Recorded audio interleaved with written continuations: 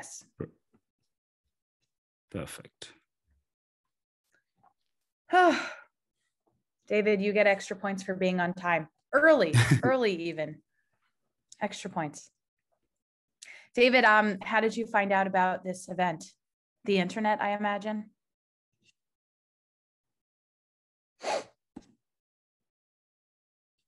From your Twitter. Oh. Ah, love. we love Twitter. In a few minutes, we'll ask you, you know, like if you're a podcaster already, all that kind of stuff. So just uh, giving you a little insight into the future. Curious about who you are, you know, all that.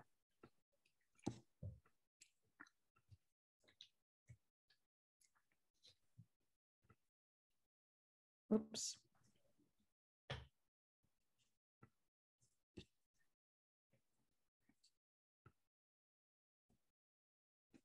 Hello, level up.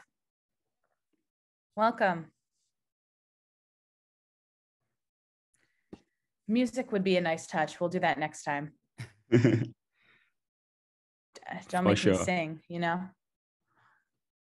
I think there should be a name behind Level Up as well. Level up if you want to tell us, uh, if you want to rename yourself so that we know who you are, so that I don't have to call you Level Up. That would be lovely. Unless, of course, your name is Level Up. Um, Uh, Varun. Okay, Varun. cool. Welcome. Varun, where are you joining us from today? And am I pronouncing your name correctly? Please feel free to let me know.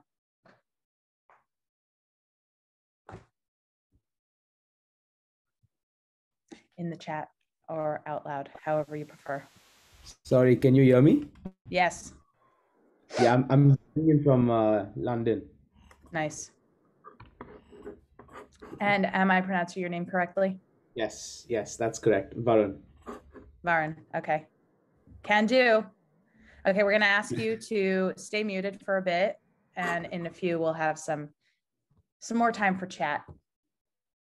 We're gonna be utilizing the chat feature pretty heavily, though, um, for some responses and to figure out who you all are. Thank you.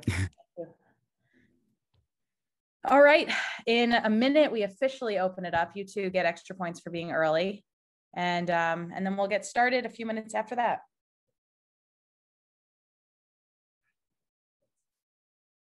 How's everybody feeling on this Friday for for you, Varun? it- uh, for you in St. Paul, Minnesota. Thank you for waking up very early for us, David. I guess it is.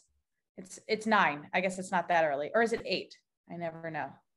Central Time, Midwestern Time. It's a whole different world out there. Anyway, thank you for being here. And Varun, it's early afternoon for you. Yes, it is. Nice. Yeah. Where are you tuning in from? I'm in New York. Okay. Hello, CM. Who are you? Feel free to. Uh, oh, got a lot of people jumping in at this time. Welcome, everybody. My name's Arielle, and I'm here with my partner and friend Sashwat Sahu. And Hello there. we are about to party and tell you about podcasts. um, as you're joining us, please feel free to let us know in the chat where you're joining us from. We'd love to get to know you a bit, and we'll get started in a few moments with um, telling you about podcasting, podcasting cat thought leaders, and um, why why podcasting is important. Um, Ram Sri is from Hyderabad, India. How far is that from you, Sashwat? It's uh, I think overnight journey Wow. and uh, by flight just an hour away. Nice. Ram Sri is act- actually our Maven um, coach, uh, instructor as well, fellow cohort member. Love it. Well, thank you for joining us today. And of course, we've got Josh Dudley, who is a Twitter friend of mine. How you doing, Joshua? Please feel free to Uh, let us know. Hey, fantastic, Arielle. Uh, sitting out here uh, in my car. Um, it's a alternate side parking day in New York. Ah, love it. great, great reason to be in the car. Mm-hmm. Um, okay, so we're gonna get started in a few minutes. Um, we're gonna ask that. oh, So just so everybody knows, we are recording this um, so that we can use this uh, information that we share later for promotional purposes, or if it's really, really helpful, maybe more people will be interested in the information. Um, but we'll get started in a few minutes. Welcome to everybody who is joining us. Please feel free as you're joining us to let us know where you're joining us from in the chat. And um, we'd love to we'd love to hear from you. I'm just going to pull up all my information and then we'll get started in about two and a half minutes is is what I'd say. That's Hey, your Raf. estimated time of arrival. I see another on deck fellow, Raf Brico. He joined us from Switzerland, I believe so. Hi, Raf. Hello to you. Thanks for joining in. I see Neha as well. Neha is a mentee from my Spotify podcast lab uh, cohort as well. So Oh, hello nice. there, Neha. Yeah. Hello, Satyoki. Old friend of Pune, mine. India. Very cool. All right. All right. We've got people from all over the world. We've got India, London. We've got the US in various places throughout the US. Really glad to have you here joining us from all over to learn about podcasting. Sashwat, what podcast have you listened to most recently? Oh, I think um, Henry David. Uh, um, I think the Shantaram one, right? Gregory David. So he released his podcast sometime in March and April. So he was just talking about his story um, arc, how he was building his story back then about Shantaram. And uh, yeah, it is just, it's not a very nicely edited podcast, but it was lovely to hear actually. Yeah, it's, it's just like 10, 15 minutes of random discussions. He just picks up a bunch of questions here and there from his listeners and just answers them. But it's a good one. Love it. What about you? I was just listening to the Daily. It's about the crisis at the Belarusian border today. Intense stuff. Oh, I will finish it after our hour of uh, podcasting for thought leaders. So, what about you folks? What have you listened to lately? Are you a podcast listener? Are you a podcaster? We'd love to hear from you in the chat. And we will read your answers aloud as we wait for a few more folks to join us. Podcaster, podcast listener, both. I am both personally. Um, I make a podcast about podcast recommendations. And yep, a lot of both, a lot of both people. Varun is both, Neha's both. And um, I listen to like 35, 40 hours of podcasts a week. It's really, it's like a job. ooh. It's like a job. All right. So why don't we get started, Sashwat? How do you feel? Yeah, sure, Arielle. So, um, and uh, of course, this will be recorded. So, a lot of folks who will be joining later on can, can get this particular video at a later point in time as well. So, hello, everyone. Good morning, good evening, and um, uh, good afternoon as well from wherever you are joining us. And uh, my name is Sashwat Sahu. Uh, a little bit of introduction about me. I run a podcast called as SaaS It Up, primarily to a lot of SaaS investors, operators, and entrepreneurs from all parts of the world. And it is one of the most loved SaaS podcasts. I've been um, embedded in the SaaS ecosystem in Lon- London as well as uh, uh, Silicon Valley uh, via the OnDeck and SaaStr networks as well. And uh, yeah, I just started off my season two, and that's when I had to be part of the Maven Accelerator. Founders of Maven were coaching us, both me and Arielle, and happened to meet Arielle via our OnDeck ecosystem as well.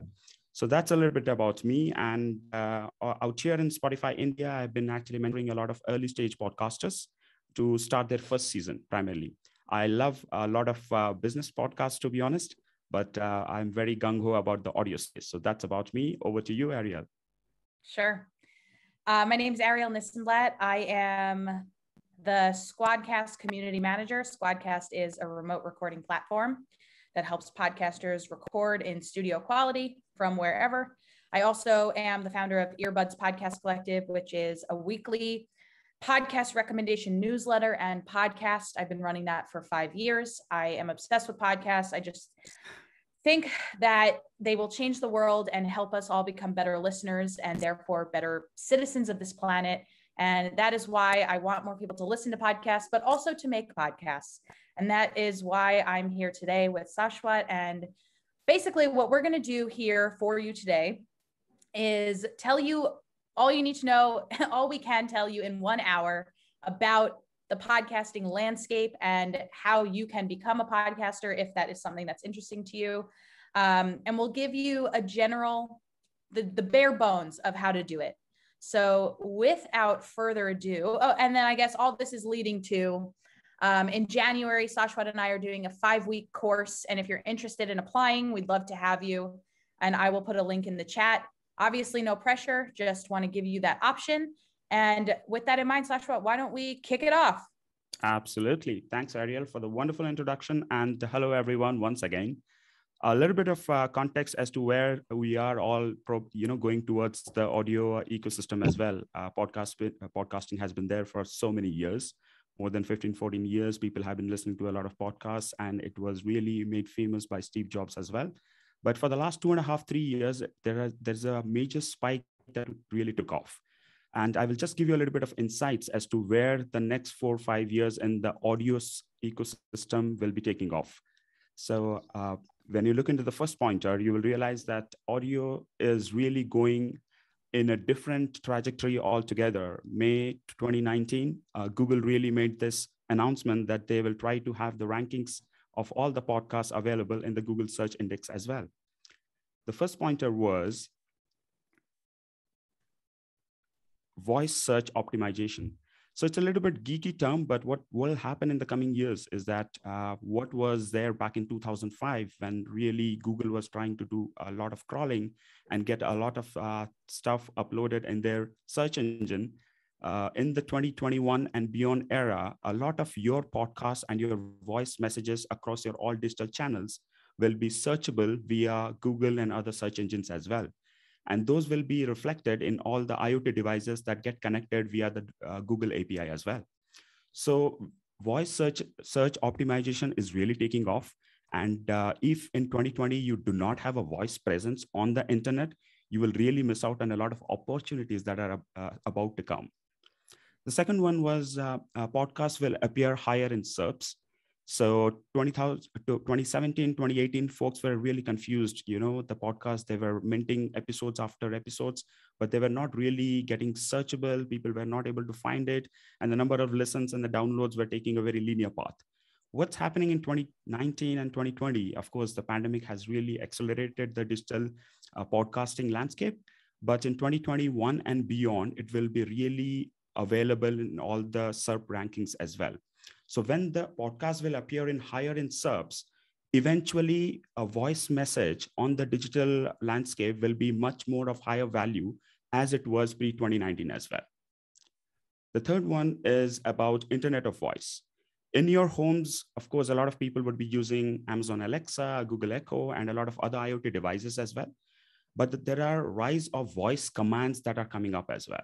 So what will happen is that your podcast will be available in a lot of workflows of other digital uh, channels as well. For example, if you are trying to order something from your local grocery, today you may be using, let's say, Amazon or maybe an- another platform or an app from your phone. Tomorrow, what will happen is that you can actually order a bunch of things within within your home, and they will be converging or you know having those uh, API conversations between themselves as well. So IoT was always a play, but um, Internet of Voice is something that's coming up. So when you have a presence, an audio presence on the internet, podcast being one of it, maybe you will have a bunch of other presence as well. Those will get interconnected at a later point in time as well. The rise of social audio. Of course, Clubhouse was a major, major, um, you know, uh, it's not an innovation. Uh, there were a lot of platforms that were really created back um, in 2016, 17 but the timing for Clubhouse was really nice. Uh, we were all stuck in, in the pandemic in our own uh, bedrooms or homes. So what happened was that we tried to consume a lot of audio content. So apart from Clubhouse, there are another 21, 25 uh, apps that are available. There are like social apps like Callin, Wisdom, and these kind of apps are really accelerating the um, uh, social audio uh, landscape as well. Uh, many people predicted that the social audio landscape is um, uh, going uh, in, it's taking off, but it's just a fad. But uh, my prediction is that for the next two to three years, it will really take off, and there will be a lot of consolidation happening as well in the social uh, audio landscape. So, besides the follower counts and the expertise that you actually bring in, there will be a lot of people who will try to listen to you, you being the expert, you being the creator in, in real time, in live uh, formats as well. So that's something uh, we all need to be really focused on. And the last one is B2B SaaS companies are really doubling down on the on the um, uh, audio space. So every other B2B company, whether it is Slack or Salesforce or even Squadcast or any any company that subscription layer attached to it, are trying to build their own podcasts and they're uh, trying to double down on a lot of things that are going the voice medium itself. And the part is a lot of media houses are now getting created within these enterprise um, uh, um, houses as well. So today, these companies are, let's say, a million dollar companies going towards a billion dollar companies over the last two, three years. But eventually, in the next four to five years, a lot of media houses will be created within the SaaS companies as well. Now, that's a prediction that is available in a bunch of uh, VC networks. Uh, Matthew Ball is one of the amazing uh, VC who has given an amazing prediction back in October um, about the rise of the audio, uh, you know, platforms and uh, and um, uh, devices as well. Okay, so um, I'll just touch upon a little bit of um, the ABCs of podcasting and a definitely uh, stands for finding your um, um, your uh, you know your niche. So if you are starting a podcast in 21 and beyond then preferably try to double down on a particular area that you have expertise in. You may do a candid banter. That's absolutely fine. You can be a next joe rogan as well. But um, if you really are focused in a particular area then you have a higher possibility of success in 2024 and beyond as well so try to find a niche that is really, uh, you know, resonating with your expertise as well, and go all guns blazing. And the second one is um, being having a great audience as well. Now, cohort analysis is a very jargonish or MBS MBA um, thing, but uh, every every podcaster whosoever starts off needs to understand who their target audience is. Of course, uh, in your first few seasons, you would not know who your target audience is because there's a lot of you know pivots that will uh, take place but eventually you will do a little bit of cohort analysis and really know what your um, uh, target audience is. And that's when the magic happens. Once you really know who your cohorts are you will double down on the content um, as well and you will have better listens and downloads. And of course arielle is a great podcaster. I'm a fan of arielle and she's a good friend as well. And uh, so together arielle and me decided that why not start um, community or a particular course um, around around uh, the audio sphere itself. And that's why we named it as audio lab. Lab because we will be doing a lot of experiments and uh, you will know how these experiments will really impact your understanding around the audio uh, ecosystem as well. That's a of uh, podcast. Uh, definitely you need to have um, you need to be really focused on the attention economy. So people so so a friend of mine really joked. He said that we our ears are always open 24 7 as opposed to our eyes. So what happens is that a lot of companies and enterprises are looking for your year share in the coming years as well. So oh that was a funny thing. Year and years so the B of podcasting is that um, you are trying to set up uh, your personal brand, and along with that, you are trying to create a brand for your podcast. Whether you are an indie podcaster or you are a podcaster within a particular company or an enterprise where you are trying to do within that corporate scheme of things, you are trying to create a brand uh, via the medium of audio. And brand architecture states that you cannot create a brand uh, overnight, right? It takes a lot of multiple touch points to really you know have your uh, brand architected. So uh, if you are a podcaster then definitely be very clear uh, how you are trying to position your brand. And especially you might have to do a little bit of uh, digital cleansing of your past and a lot of other digital footprints to clean up your brand before you start your podcasting journey as well. Then b for books. I'm an avid books uh, lover. I read a lot of novel novels as well uh, last week, I found a news about Spotify buying a bunch of platforms that are really going big on uh, audiobooks. So 2020 will be an exciting year for audiobooks. Uh, apart from the audibles of Amazons of the world, you'll find a lot of platforms that are really going long on audiobooks. And uh, if you are a book lover, or if you are a blogger, or if you are a digital content creator, then eventually there's a high possibility that you can actually merge a bunch of episodes of your podcast and create it as an audio book as well. So we'll help you out with uh, the process around uh, creation of audiobook as well. And the third one is the business of podcasting. Many of the podcasters since um, uh, you know 2012, 13 have been telling that you know the first few seasons after few, first few seasons they have a pod fade and they get demotivated as well because they're not able to monetize it but uh, we have uh, gone deep into the business of podcasting apart from the sponsorship layers the subscription layers we actually understand the business model of podcasting. And that's a very unique insight that we bring with years of expertise that you've got and having spoken to some of the industry expert, experts across multiple geographies as well. So if you are trying to start a podcast or you want to double down on your audio journey in 2022, you are actually at the right time. And I will really, you know, plead everyone to really think think it through early on in the first few months, and thereafter go with your amazing journey. And the C and the last C of podcasting, which is very interesting, is community. Um, I'm part of a bunch of communities, uh, podcasting communities as well, that are helping me in my podcasting journey and um, a community is like just not a peer-to-peer uh, support system network but it is it is a set of people who are within your own cohort ecos- cohort as well so what happens is that they are facing the same challenges. They are um, aware of the problems that you have already faced. They are experts in some of the areas that you might be touching in at a later point in time as well.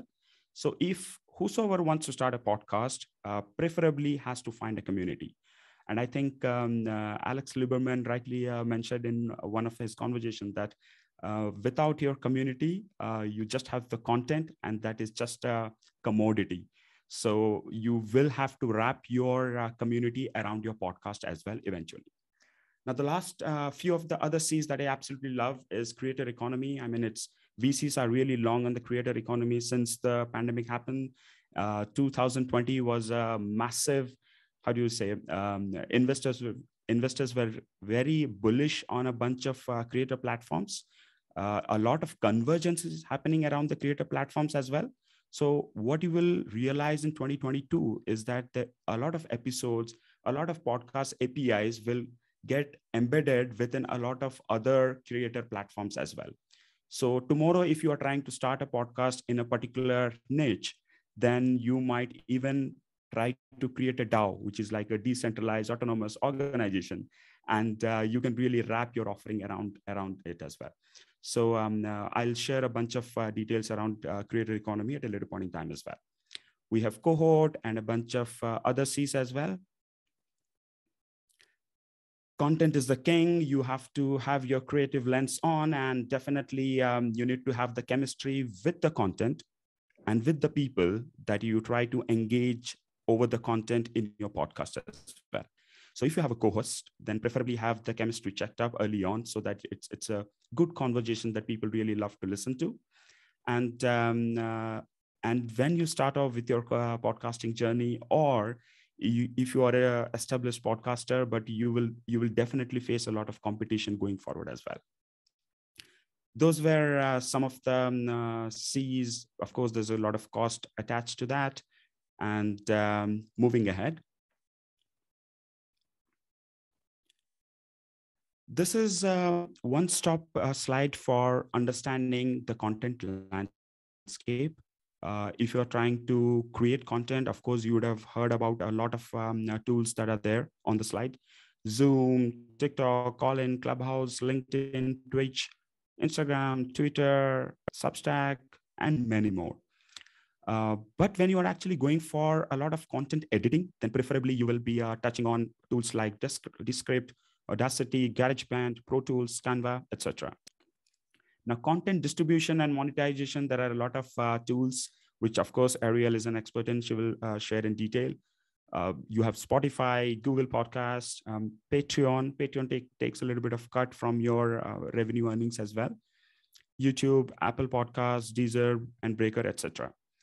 Now, the good part of um, uh, uh, you know community uh, of a podcast. I mean, you can check out Podchaser, Reddit. There are hundred plus podcasting communities. Um, uh, on Facebook as well. Squadcast has an amazing community as well. But uh, many folks have researched and, re- and they have realized that CBC communities are really, really strong in the long run. Why? If there are a bunch of 25 or 30 folks who have joined in for a definite period of time, for a month or, uh, or for two months, etc., you really have a stronger bond within your uh, cohort members as well. So if um, uh, like like I and Arielle happen to meet in one of the similar CBCs as well, and we realize that whenever you are there uh, in a, in a time bound equation for like four weeks or six weeks, you really have these strong bonds. And these bonds really come handy at a later point in time when you are going ahead with your fifth season or you are trying to get partnerships, etc. as well. You get a lot of help from your fellow podcasting friends as well. Content discoverability is is about um, uh, search engine recommendations, and there are a lot of um, social platforms that will really try to embed embed the uh, podcast episodes, the podcast names, the visual designs, the cover art of the podcast, etc., in their in their canvas. So 2022 uh, is a very ripe time to be in the podcasting landscape. And uh, because the monetization options are really opening up across the world, you will see that um, you are in a good space to actually monetize your content going forward. Uh, and in the future, of course, there are IoT devices, and um, I've spoken about Amazon Alexa, Google Echo, etc. And the last um, note that I'm really, really bullish about is a lot of our digital sales motions, marketing motions, HR motions will try to embed uh, podcasts and voice snippets uh, within their workflows as well. So tomorrow, whichever tool that you are using on your mobile phone or maybe on your laptop, you will realize that there will be a voice touch point as well. So there were, of course, image and video were the popular mediums, but from 2020 and 2021, I'm very, very bullish on the medium of audio as well. So that's it from my end. Uh, Arielle, over to you. Hello, everybody. I know Sashwat just told you a lot, so we're definitely going to be leaving time at the end for questions. So if you've got them, hold on and we're leaving time so no need to no need to rush um, so i think sashwat just gave you a really great overview of the landscape of of podcasting of audio of all of that.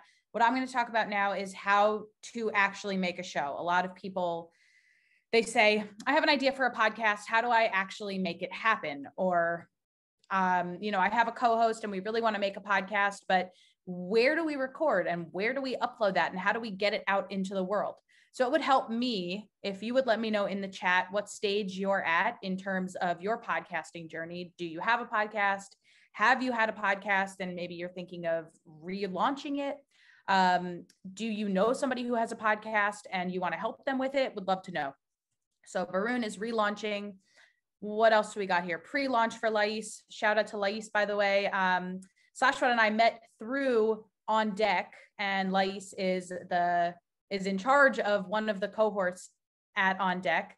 Um, I did the community building cohort, and Sashwat did the podcasting class. And um, then Sashwat and I got connected just for a little bit of context through the larger CBC world. And I think um, some folks might not be familiar with what CBCs are. It's cohort based communities. Is that right? This is kind of a, a, a term that is becoming more and more popular. Go ahead. No, it's it's similar actually. Cohort-based courses. Courses, yeah. So yeah, one of the one of those words that it's important to know, but it becomes it, it becomes um, an acronym, and then we kind of lose the meaning. So we met through a course that we will later be teaching a course in a similar style, a CBC, a cohort-based community. I missed it again. Anyway, we're going to be teaching a course, and it's going to be cohort-based, and that's it, cohort-based uh, cohort based course. Um, lots of people here. You have a talk show podcast, um, a podcast planning to launch two more for one company I'm an investor in. Awesome. Okay, so let's talk about how to make it happen. This might be 101 for some of you, but it might be a great refresher for you as well. So, whenever I advise people on starting podcasts, I tell them to think about what the format of the podcast should be.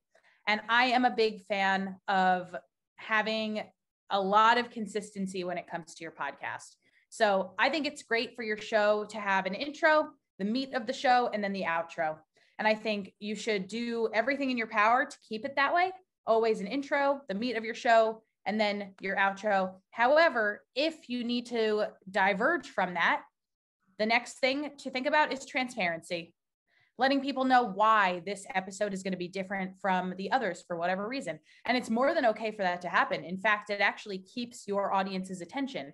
But if you try to do it without letting them know that this episode is going to be a little bit different, you're going to lose their trust. So you want to give them a reason to trust you. And that is being very transparent.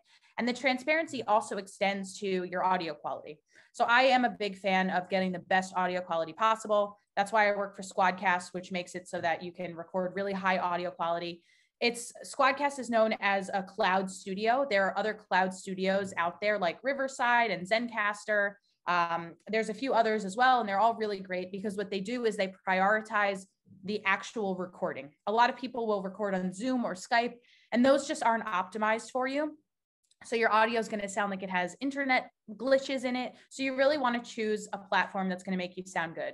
And right now I'm talking about remote recording, but of course there are options to record in person in physical studios.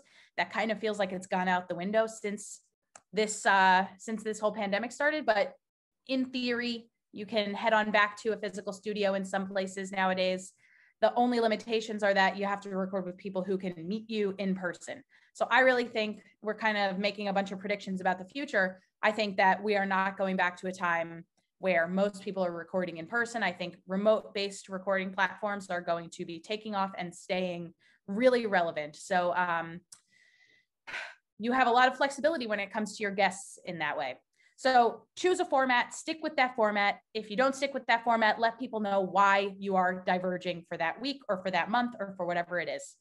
Your co-host, like Sashwat touched on a few moments ago, is really important. I see a lot of people posting in these Facebook groups online, like, I have a really great idea for a podcast. Does anybody want to be my co host? That's a recipe for disaster. You're not friends. You don't know each other. You're just asking for somebody to co host with you.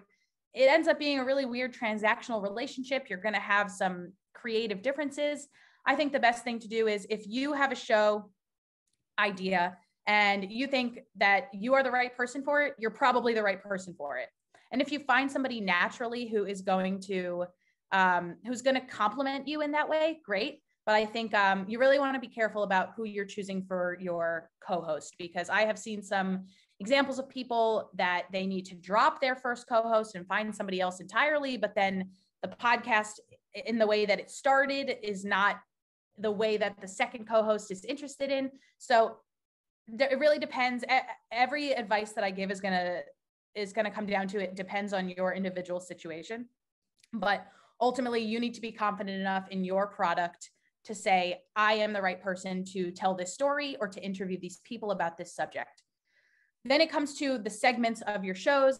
Um, like I said, I really like an, a clean intro, meat of the show, outro. Of course, that's more for like an interview show or for my show, I, I host a podcast um, called Feedback with Earbuds, and it's a podcast recommendation podcast. And I'll just give you that example of how my show works. It's intro up top.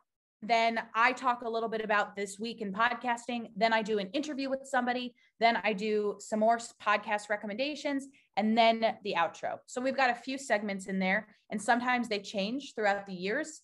And that's another thing about podcasting is that it's going to be very experimental because you are, I hope, in it for the long haul.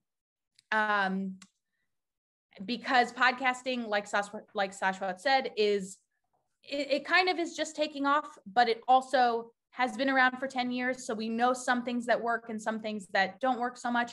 But ultimately, if you are ready to stick in this for the long term, you're going to be rewarded for that because you're going to learn over time about your audience. You're going to learn over time about the larger landscape and how to take pieces of news and bring them to benefit your individual podcast. Um, so yeah, I, am a big fan of letting people know what's going to happen on your show. If you diverge from that, so be it, but let people know why. Um, let's talk a little bit about podcast marketing because that is one of the other questions that I get. I post a lot of tips on Twitter. And I'm very, very active on Twitter with sharing recommendations for podcasts, both what to listen to, but also how to make your show better. and how to market your show. And one of the biggest questions I get is my podcast is great. A lot of people have told me so. Um, and of course, that's subjective in and of itself. You obviously need some sort of, you know, unbiased third third party to let you know like what how your podcast is. So I definitely recommend getting an audit somewhere down the line, but that's neither here nor there. How do I actually get my podcast out to the world? And of course, Sashwat touched a little bit on, you know, you record your podcast, whether it's on Squadcast or on Riverside or on Zencastr, or you record your podcast by yourself in Audacity or in GarageBand or in Pro Tools. You edit your show and then you upload it. Where do you upload it? Great. You need a podcast hosting site. So a podcast hosting site is a company like Buzzsprout. It's a, a, a podcast like uh, a company like Simplecast. It's a company like Libsyn, Blubrry. There are so many different podcast hosting sites. And that is essentially where your data is stored on the internet. And that's what then converts it to an RSS feed. Um, and an RSS feed is what you then submit to these distribution channels.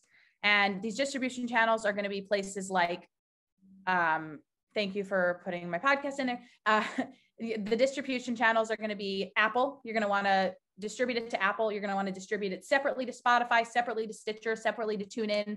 Basically, what Apple Podcast does is then many different podcast apps strip their data from Apple. So once you upload your podcast to Apple Podcasts, it is already on many other podcast listening apps, and you don't need to worry about that. But Spotify, Stitcher, Amazon Music all require you to submit your RSS feed to them independently. And that's really important to know.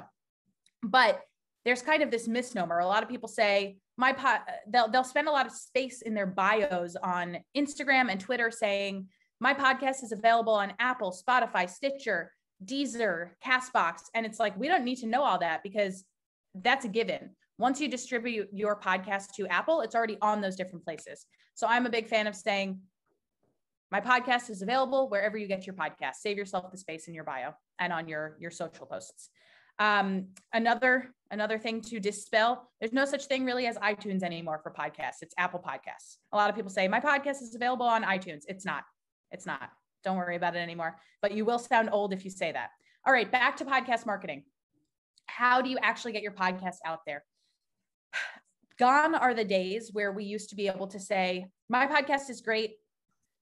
And then maybe it makes it all the way up to the top of the charts just because it's a really great show. That doesn't really happen anymore. Maybe 10 years ago, but now there are so many podcasts out there. There are millions and millions of episodes. But here's the good news if you do the tiniest bit of marketing, you are ahead of the game because so many people put out their podcasts and do absolutely nothing with it. They just they sit back and they hope. And that's not going to work anymore. So what can you actually do? I'm a big fan of promo swaps. You've probably heard podcasts that before they start they say, "Hey, before we get to this week's episode, I want to tell you about another show that I think you're going to love." I'm the host of the SaaS It Up podcast, and it's a podcast all about SaaS and about companies and about how to get involved in the SaaS space.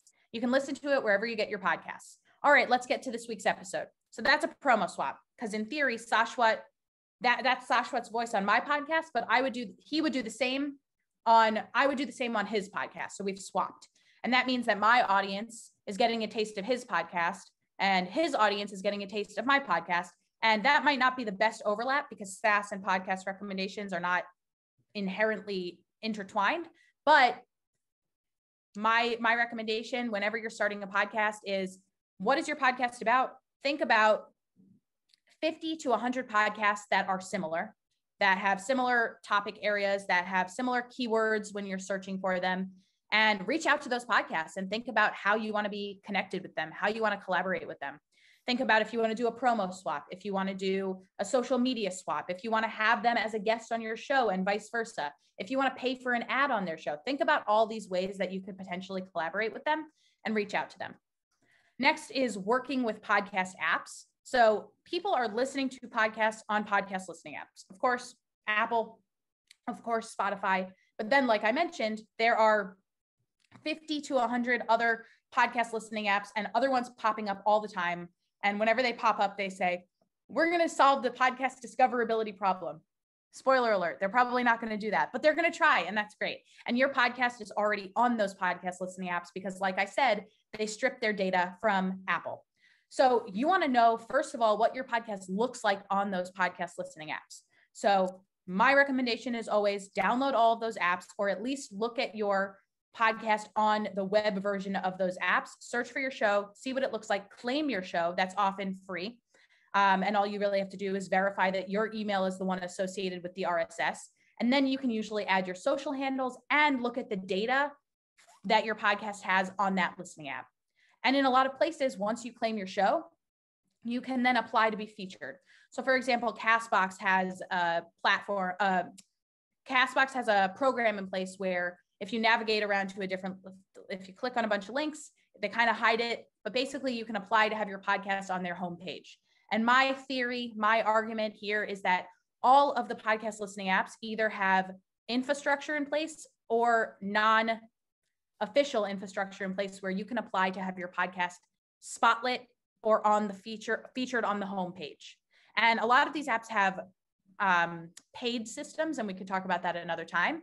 But a lot of these apps are looking for content, high quality content with beautiful cover art to have on the homepage of their website because they need content just like you need content. So if you hit these in app curators and say, hey, I noticed that on your homepage, you don't really feature that many podcasts about SaaS. Would you consider putting my podcast up on the homepage? In exchange, I'd be happy to, at the end of my podcast, say, you can listen to this podcast on Castbox. So it's all about thinking about your collateral, what you have to give, and sort of bartering. The podcast system is very big into bartering. It's thinking about what you have to offer and what you have to gain. I like to approach any pitch with be willing to offer more than you're, be willing to give more than you're willing to take. And I think you'll be rewarded for that in the podcast space and also in life. Um, so working with podcast apps is huge because that is where people are listening. That's where they're going to listen to podcasts. Of course, there's press. I talked a little bit about pitches. Be willing to give more than you're willing to take. Um, that's how I approach pitches is how can I help you? Here is a podcast that would be great for your audience. In exchange, I can do X, Y, and Z. So thinking about what exchange you have to give. Um, I'm a big fan of the podcast newsletter scene. I, like I said, run a podcast recommendation newsletter. I know of about 20 other podcast newsletters, whether they're industry newsletters or recommendation newsletters. And again, all of them need content. All of them need to fill um, their issues week after week or day after day, however often. So if you hit them with the right pitch, that's great. So my recommendation there is to subscribe or at least be aware of all of the podcast newsletters out there know what they look like, know what kind of pitches they take, what do they tend to cover. I also recommend following all of the curators of these podcast recommendation newsletters and podcast newsletters on Twitter because often they will make it really obvious. They'll say, I'm looking for a podcast about X, Y, and Z. And you can say, Great, I have that podcast, or I have a friend who has that podcast. Lovely paid ads are another thing. I know we kind of need to, to move on, but this is a, it's a lot of information and it's really, really helpful. And I can go in more depth another time. Paid ads, you can pay for ads on podcast listening apps. And that's great because that, again, is where people are listening to podcasts. I didn't even talk to you yet about how social media is not the best place to spend your time promoting your podcast. It's good to have, social media is important to have because it shows that your podcast is alive and well and that you're producing content and you're reminding the people that follow you that you have a podcast and you have a new episode out, but it doesn't usually convert to help you find new listeners. It's really great for your already existing listeners. But paid ads on podcast listening apps, that is where people are and they're primed and they're ready to listen to podcasts. When I open my podcast listening app and I don't yet know what I'm going to listen to, I scroll through my homepage and I look at my homepage and I say, huh, what am I going to listen to today? And if the right podcast hits me at the right time and the cover art is beautiful and the title is beautiful, I'm going to listen to that. I'm going to try it out. So, your podcast, if it's there, that's great. You are ready to find some new listeners. So, either getting your podcast there through pitching and for free editorial placement in apps is great, but also paying every once in a while is great too. And I have some recommendations as to where you should pay. Like Castbox has a great program. They do it based on subscriber uplift, whereas Overcast also has a great program, but they do it based on impressions. So you don't necessarily know how many new listeners you're getting. A lot of information there, but we're going to move on. um, and then this is our this is our quote from Maya Angelou. The desire to reach for the stars is ambitious. The desire to reach hearts is wise. Love that quote. Sashwat, I know you added that quote. So do you want to talk about why you added it? Yeah, I think um, uh, especially when you are dabbling with uh, a lot of entrepreneurs, investors, and operators in, in the high performance environment, you realize that they're all amb- ambitious. But not a lot of people are really rooting in for the hearts, right? I mean, they're looking for the mind share. But um, if they could be more givers and try to capture the heart share, that would be amazing. Like Adam Grant always talks about the concept that people are there. Are, there are people who are of three kinds three kinds of people actually. One are the takers, the second are the matchers, and the third are the givers. Givers are the people like Arielle as well, who tends to give a lot on the Twitter platform just free of, you know, just for free. So that's an amazing, um, uh, you know, thought process or mentality of a professional, and that really helps you in your podcasting journey as well. You'll find a lot of um, uh, uh, givers in in some of the cohorts, some of the networking uh, uh channels that you may be part of in the discords as well and uh, try to um, you know uh, make friends with uh, those fellow podcasters and try to you know um, um, co-create something together as well. So those were a few of my um, thoughts as well. But yeah folks um, if it's okay with you why don't you switch off your camera and um, uh, just say hello to us and ask some questions? Or if you would yeah, like to know I, something uh, in specific i will we are happy to share with you. Yeah i think um, we gave you a lot of information. I know the podcast landscape you know we could we could have gone into 10 minute segments on each of the different slides that we had more. We could have gone on like each each of these slides has about an hour of content behind it. You could learn so much from it.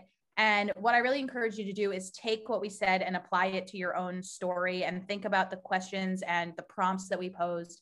Think about how you can take advantage of that. Our contact information is here. Both our email addresses and our Twitter handles. Um, check us out. Let us know if you have any questions later after you've had some time to digest. But for now, we'd also love to answer your questions. Uh, and they can be specific, they can be individual. You can ask me, I'm thinking of launching this podcast. Where should I promote it?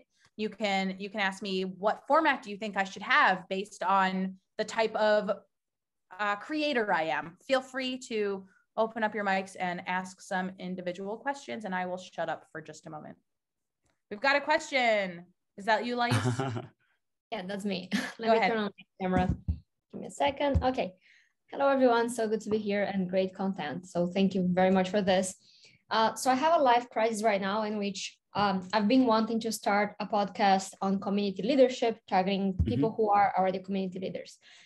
But the calling is to make it in Portuguese because I'm from Brazil and there is very little content about communities in Portuguese. But the pers- the population of humans who are community leaders in Portuguese in Brazil is very small for the effort it could take. And then I thought maybe Spanish because um, I also speak Spanish and there's a wider audience. But then once again, English is where I, I personally could benefit the most. Right. But Portuguese, Spanish is where I can contribute the most. So how can I maybe make a decision here? Where should I start start from? And how can I make it bilingual or trilingual if that's possible? That's a really, really good question. And I commend you already for thinking about where your content can actually make a difference because a lot of people start podcasts without doing the proper research into does this topic already exist? or is somebody already doing this? So thank you for doing that. I think that's huge. That's a big step. So the first thing I would think about is, you know, there are systems out there that will translate your content. Um, Veritonic is a really cool program that is doing AI voice simulation. So I would check them out. It might be expensive, but it also might be the type of thing that they're interested in trying out with you. So I would look into that. There's a lot of synthetic voice. So, for example, there's this newsletter that I follow called Sounds Profitable. Um, I'm the co host of the Sounds Profitable podcast, but the newsletter is about podcast ad tech and just general podcast systems that are in place that, that are thinking about the future of podcasting. And one of the articles that came out recently is that it the whole system is run by this guy named Bryan Barletta. He's based in Texas. He speaks English. He does not speak Spanish. But now not only is the newsletter being translated into Spanish every week because there's a lot of um, movement in the Spanish speaking side of podcasting, but also his voice is being synthetically made into a Spanish speaker. It's amazing. It's the coolest thing. And he doesn't even speak it. It's called Veritonic. I think the actual um, Veritonic is the, or it's Veritone One, I'm sorry. Veritone One is the company, and then within them is Marvel.ai. So just something to think about. Um, I mean, I, if I were you, I would probably speak to community leaders in English now. And I think your unique insight there is that you you are based in in Brazil, right? Yeah. So that yeah, that's already yeah. I'm in between Brazil and New York City. But that is already um, unique in and of itself. You have that unique insight of being there. Um, and then over time, maybe you translate it, maybe you don't, but maybe you make all of your show notes available in Portuguese, or maybe you write your blogs in Portuguese, you know, making it, making there be some element of international language um, just available to people, especially in your hometown, home city. And um, I think that's a good way to go about it, but I'll, I'll let Sashwat add to that. Sure. I think, um, uh, Liz, I'm a fan of your work in the community space per se. And uh, um, and I have also done a little, little bit of research on the podcasting listenership from, from various countries. So apart from the US and UK and other other countries, you know, Brazil has a huge listenership as well. So I would not discount uh, the Portuguese language, right? I mean, of course, I would um, if I were to design the pod strategy for you, then A, I will have that um, one episode in English and maybe a similar the same kind of episode or the same kind of conversations or a translation of that uh, episode in your voice in portuguese as well and i will release that as like episode 1 and episode 2 with with definitive show notes as well because what will happen is that at least your um, Portuguese sp- speakers would love to hear in Portuguese, even if they can understand English, they would love to hear it in Portuguese. And if you look into the anal- analytics, you will realize, and if you dig deep into the analytics uh, via any of the platforms, you will realize that there's a high possibility when you do in your uh, Portuguese language, you will find people from uh, Brazil listening into more. So, um, so I'll design, um, you know, airtight pod strategy, and in that, uh, uh, and one of the idea that just came to me on the top of my head is this one: having two episodes. One is in English, and second, the translated uh, in Portuguese with your own voice in it. Yeah. Appreciate that. I have more follow-up questions, but I'll leave it to the others and maybe join your course in January because I have to continue talking about it. All right. Thank Thanks, you, Lais. Let's go to Ram Sri. Hi, Saswat and Arielle. Uh, I have a question about paid marketing and paid promotions. So for example, I want to know like if let's say a YouTuber has 50K audience and then you want to do paid promotions how does the transaction usually look like and what are the ticket sizes so i just want to know in general how do those uh, numbers look like and also the workflow look like looks like yeah you're, you're thinking about paid youtube ads is that right? Uh, let's say someone has a paid podcast uh, then if i want to promote something on there it could be my saas or something else. How does the transaction look like and sure. what the prices are? What the prices yeah are. yeah. So if i'm understanding correctly you there's a podcast that you want to get your product in front of. Right okay. yeah. so a few things. So first of all i would think about if you have money to spend that's great do you know about the cpm model uh, not really okay so cpm is clicks per milli it's essentially how many uh, it's a, essentially a dollar amount that corresponds with every a thousand downloads. So you would hmm. ask the person that you want to buy an ad from, you would say to them, um, what's your CPM? And they would tell you it is but somewhere between usually 25 and $55 per per a thousand listeners. And then you would ask them how many about how many listeners do you get within a 30 day period of an episode being released? And they might tell you 7,000. So then it is that number times seven, right? Um, so that's that's generally how it works, but the number could go up or down based on how how perfect your product is for that audience. So they might charge you more because um, maybe it's not the best fit, or they might charge you less because it's an incredible. Uh, it, the it makes a lot of sense for their audience, and they're they see that it that it's adding value and therefore they're going to charge you a little bit less because it's not the biggest pull on their part does that make sense yeah absolutely Sounds So that's that's how I would go about that. But another thing to do is like you could always say, I want to underwrite your entire next season so that I get a shout out at the top and the bottom of every one of your episodes. And you could say, I want to pay a, a flat fee of $5,000 for that. And they, they'll say yes or no, because some people like the option of having all the money up front, even if maybe they're going to get more listeners than, than you could have predicted. Maybe they're just happy to get the money up front. got So it. really, I think the the main takeaway from this is there are no rules. There's not there's not like um, one specific way to go about this, but you should know all of your options so that you can hit them with like, I want to do this or this or this or this. Um, what are you willing to What are you willing to take from me? And then another thing is, if you have your own podcast, maybe you do swaps instead. Maybe you you do collateral exchanges rather than money. right. Got it. And Great. and adding on to Arielle, uh, because Ram Sri, we have interacted a bit during our Maven cohort as well. So I have a little bit of context around the course that you are building. So um, you know, there's a saying that, of course, the beauty lies in the eyes of the beholder. So similarly, the value lies in the ears of the listener.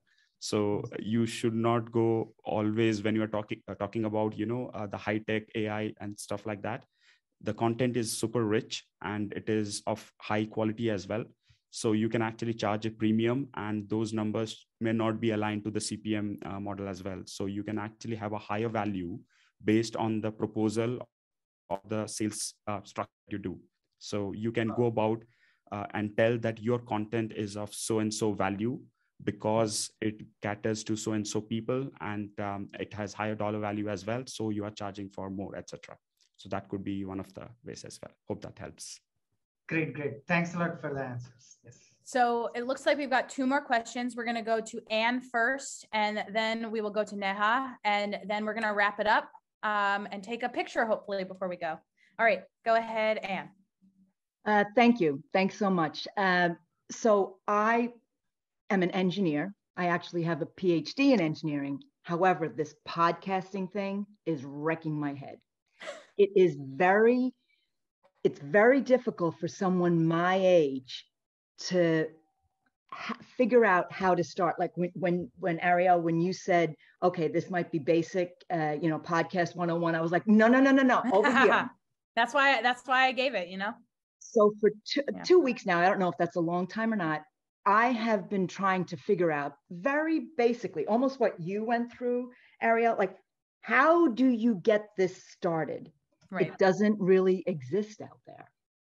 It doesn't exist for someone my age who happens to be technical, but not video game savvy. It's a different Mm. type of technical, even the lingo. Um, do you know of anything out there that can help someone like me interested if for no other reason i'm old enough that i have stuff to share Yeah. but right now you are my last hope my niece said you know what it's on friday morning 10 o'clock do it and i said after that excuse me but like f this this is just Yeah. like No, I'm glad you're here. I need to know a little bit more, and I don't know if we have time for it right now. But what, what, what do you want the show to be about? it's about girls and engineering and Cool. And is it an interview show? a lot of it is stuff that I've learned over the years. I already have videos made. It's it's a really low tech way to explain to girls in high school and their parents and high school teachers that engineering is not just for guys. Sorry, oh, Seth. Hell yeah. That that there's cosmetic engineering, people that make toys, people that make cookies, people that make beer. They're all engineers. They're not Okay. just the Well, here's what I'll say. Here's what I'll say. Take my information. I just put the slide back up. But essentially, what you should do is write down a list of the people that you want to have on your show. Write down a list of topics that you want to talk about on your show. Those are going to be your episodes. Don't worry so much about having a show forever. Think about eight episodes that you want to that you want to touch in your first season. Think about a name. Think about the format. You don't necessarily need to write your intro and your outro right now but it could be as simple as hi i'm anne i love engineering you should too let's get into today's show you know that's just a very basic um, today we're talking to this person who didn't think she could be an engineer but she's an engineer now. All right let's get into our conversation. Great you've done that conversation. Outro. Thank you for listening. Hope you enjoyed. You can find my information here. You can find their information there. Great episode one. That's it. That's it. Not that hard. But all the other stuff, uh, Sure. yeah, the So you mean- uploading the RSS feed. Oh, oh, we can help you. So, okay. So for now, I would recommend going to buzzsprout.com slash blog. They have incredible resources to get started and YouTube videos if you want to, if you prefer watching, uh, and a podcast called Buzzcast. So that should help you a lot. Re- watch some of their stuff, read some of their videos, or read some of their blogs, and then let me know if you have any questions. And then consider joining our course in January. thank you. Thanks so much. Yeah, of course. Thank Excellent you. job, Thank you for joining us today. And I really hope this helped and that you're not going to give up because I think you're going to tell an important story. No, really, I'm, I'm back in. That's Good. why, I, that's why I, I have no makeup on, barely brushed my hair, and I thought, you know what, I gotta shout out. Hell and yeah. Thank you. All right, Neha. Hi guys, um, Arielle and Saswat, thank you so much for today's session. Um, you know, in a very little time, you gave a lot of knowledge, and uh, really appreciate that.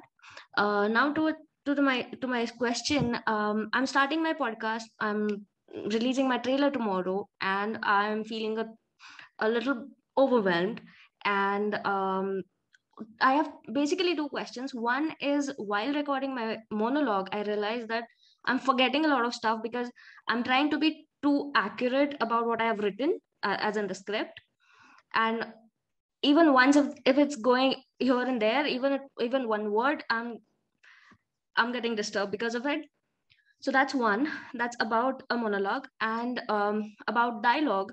Now I have a recording session tomorrow planned with my first guest, and uh, he is someone that I admire and um, you know so i'm a little scared where wherein i shouldn't come off as a fangirl while recording a session Yeah. because uh, i this is this is gonna be my, be my first episode so i wanna um you know i wanna Yeah. establish my authority in the podcast right uh, if i'm saying it right Yeah. but yeah these are two Okay, questions I have a few.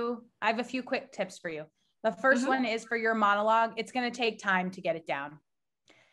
okay For you to feel comfortable with looking at your script, but then also pulling in your own improv. It's going to just take some time. So don't beat yourself up about it. Don't think, oh, it doesn't come naturally to me. It doesn't come naturally to anybody. It takes time. It takes time to be it. able to read a script and also be able to think on your feet.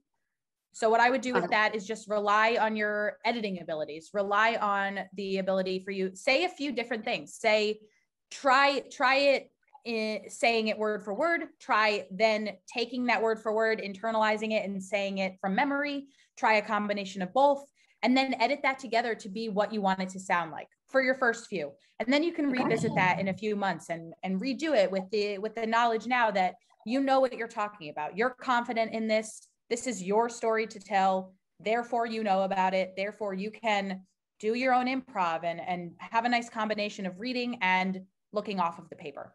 As for your dialogue, I would, if you can today, interview Mhm. somebody else. Interview Okay. somebody else who is not this person. Jump on the phone with somebody, make it the same kind of interview, and really try to think about your transitions and your flow of the conversation and how do you move from one question to the other but really just shake the nerves away by interviewing somebody else entirely. And another Okay. thing that you can do is before you get started with your interview with this person that you are a fangirl of you can say to them hey i'm a little bit nervous. So what i'm going to do is i might i might mess up but that's okay because this is edited and this is often the advice that i give to somebody when they are nervous to be on my podcast I say, Mhm. don't worry about it. If you mess up, you can always say, um, Arielle, I hated that. Please delete it. Bye, Lais. Thank you so much for joining. Um, and then, and then I, and then we know that it's a recorded conversation. So I can edit that out. So you can even tell that to yourself and you can say that out loud to this person so that they know that you're, that, that you're working on this and that they can also feel comfortable saying whatever they want because you're going to edit it. And you, you know, even if it comes off completely awkwardly, you can always say, this is okay. I can revisit this in a few months. Worst comes to worst, you don't have to put it out. You know? so I think that's that's a big part of it. It's on demand. It is not something that goes live right away. Um, if you have more questions, please join us in our session or let's connect online. Um, we're a little bit over time and I know we really wanted to uh, end early. Um, so let's see if we have anything left to do. We don't. Um, let's take a quick picture if you guys are available to um, everybody go on screen. Sashwat, do you want to take it? Yeah, I'm just taking it right away. One, two. Thank you for Thanks, showing your Ram Sri. cameras, everybody. Thanks, folks, for joining in. And uh, we are really grateful for your time and uh, hope to connect with you on Twitter or any other digital platforms as well. All right. Have a great Take rest of your day, everybody. Happy Great. weekend. Bye.